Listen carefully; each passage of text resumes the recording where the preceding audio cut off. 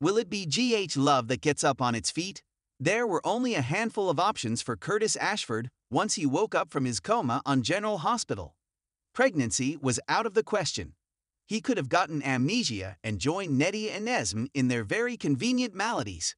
Or he could have been blind or paralyzed. Survey says paralyzed, and it's definitely permanent.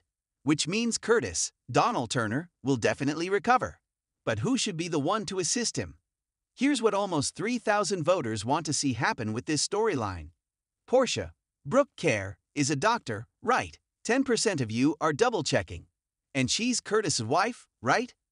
And she kind of owes him, what with the whole lying about Trina's, Tabyana Ali paternity thing? Yeah, she can put her career on hold for a bit to nurse her husband back to health.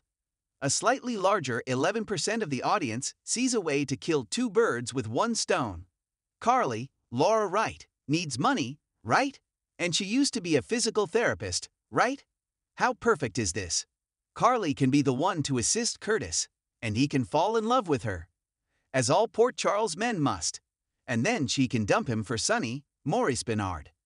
As all Port Charles women must, Curtis is just the excuse here. 19% suggest. The real story is Chet, Christopher Van Etten. He can take over Curtis's care. This will bring him into the hospital and into close proximity with Terry, Cassandra James. And close proximity with Terry means jealousy from Yuri, Cyrus Hobby. Maybe we'll see some movement with that story. And oh yeah, Curtis will walk again too.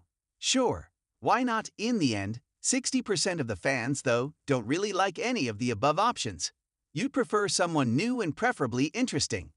Maybe even someone Curtis can get involved with romantically who he hasn't already cheated on, General Hospital airs weekdays on ABC. Check your local listings for airtimes. For more about what's coming up in Port Charles, check out all the latest GA spoilers, and for an in depth look at the show's history, click here.